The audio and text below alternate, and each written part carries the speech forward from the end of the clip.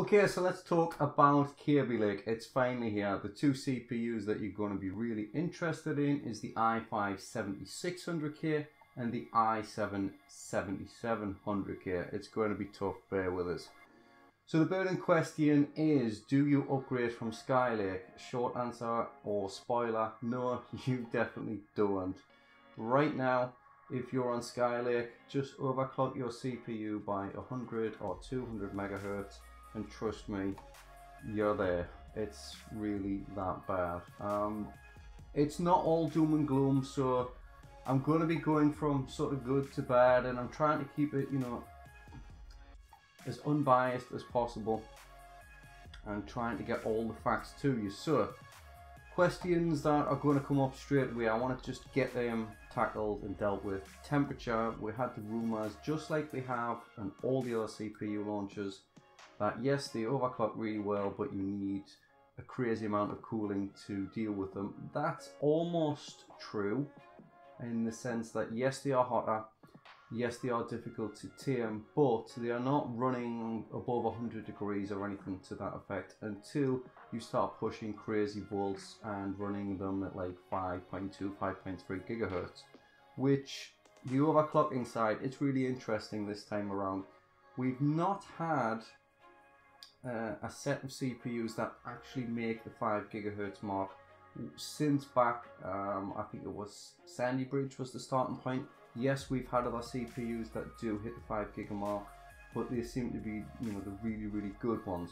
Whereas with Kaby Lake, it seems like the bulk, at least from my testing and speaking to others in the industry and then talking to consumers and different things, the, all the information I've got seems to back up the fact that they should all um, you know, there is a bit of a disclaimer with that, but the bulk, you know, the majority should hit above 5000 megahertz or 5 gigahertz. And the voltage needed to do that will vary from one chip to the next, but 1.3 seems to be about the sweet spot. Now where the temperature issue comes from, I don't know exactly, um, you know, why this has happened. You know, we can look back you know, with history, um, the one that springs to mind is Devil's Canyon. That was meant to tackle and fix the temperature issues, and mm, kind of did. Um, we've had other CPUs in the past, like the 2700K, which sort of popped out of nowhere and made very little sense. Of you know, it was meant to be a little bit better, cherry picked. You know, Intel were a little bit more upfront with the fact that it was going to be an, a good overclocker. Um, and that's what Kaby Lake really should have been we should have just had a Skylake refresh or a new set of Skylake CPUs that were clocked a little bit higher. They had a few improvements, um, and in that sense, we could, we could have just said, let's not bother with Z270, but that is a big part of the jigsaw, which I'll come back to because it does make sense. Um, you know, even as I make this video now, I've just finished up some reviews. I'm not massively excited by Kaby Lake and you probably won't be either. So let's try and get back onto something a bit more positive. So let's say you're on Sandy Bridge, Ivy Bridge. Should you upgrade to Kaby? Well, it's more logical. The answer is going to be yes. But the issue really is, do you want to invest in a new CPU, a new motherboard and memory? Because if you're coming from older gen, you need DDR4 now. Well, when it was Skylake launch, I was quite hesitant and I said probably wait a bit because DDR4 pricing was really bad then.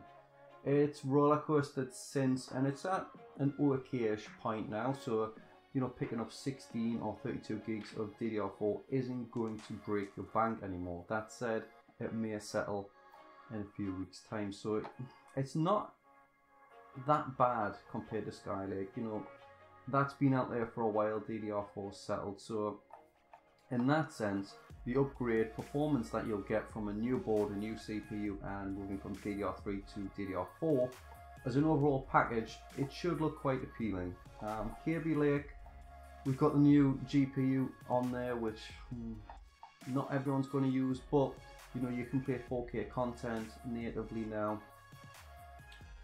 It is a good product, but it's just it's a bit meh. That's you know the best way I can describe it. So yes, if you're an older tech, I would definitely say you, you know you're going to notice some notable gains if you're on anything like Z87, 97. Probably not. Um, I would consider sitting this one out and seeing what Intel's got in the future. Of course, you're going to be tempted to look at what uh, AMD have got, which was then what is it now, Ryzen. Hopefully, that's going to shake up the market. So let's talk about numbers and different things. Basically, as I said at the start of the video, we've had a bit of a jump in performance from the clock speed. Um, you know, the out-of-the-box clock speed and the boost clocks have been turned up a bit.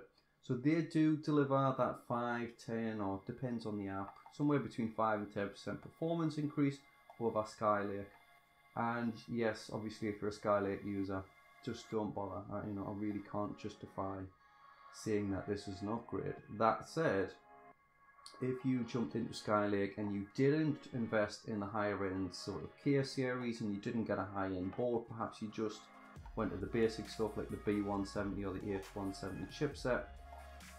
Uh, if you had an i3 or something like that, then coming over to Z270 does bring some interesting sort of things to the table. You've got the dual M2 because M2 has really dominated the market. Um, Express didn't work out yes, we've still got the NVMe product and U2 and all that sort of stuff, but M2 is at a sweet spot right now where there is notable gains over our SSDs, so using them singly, you know, it is worthwhile. Um, so now we can couple those up and we can run them in RAID and we've got this interesting tech from Intel, which is uh, the Optane tech.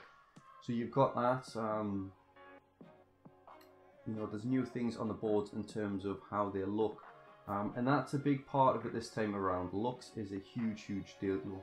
Um, unfortunately, RGB is dominating much of uh, the new products. So if you're not an RGB fan, you're probably going to look at the new Z270 stuff and think, mm, not for me.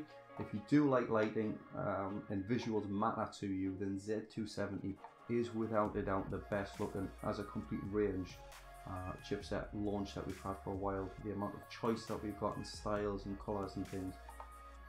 It's just a lot more interesting. Um, but I can feel myself going full circle, so let's try and get back on point about the processors.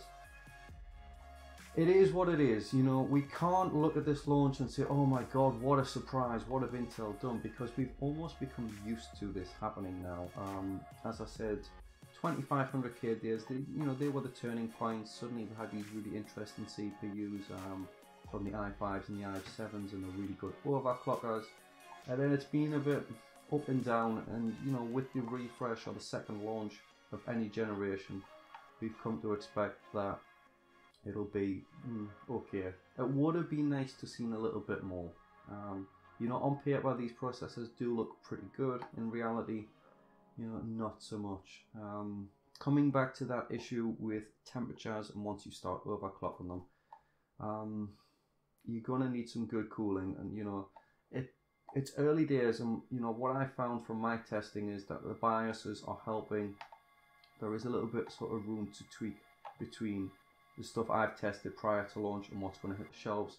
Things will be ironed out, um, but you do want to invest. Spend some time and really think about do you need the upgrade? You know what you know what's it really going to grant you? But for the most part I'll have to say just give it a miss you know or at least put it on the second in line sort of choice. Look at your other options first. Uh, numbers and things it's all on the website. I've done a, a pretty decent comparison I feel between Z170 Z270 and then I've got the higher end stuff which is from X99 or when it comes to sort of uh, multi-threading and single-threaded apps.